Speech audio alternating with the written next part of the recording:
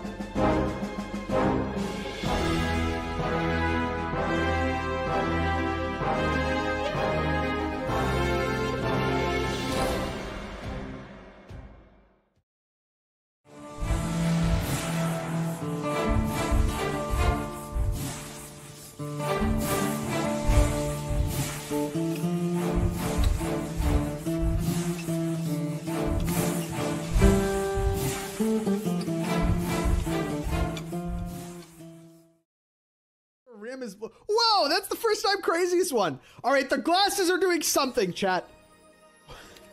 When you block one of your senses, the others get stronger.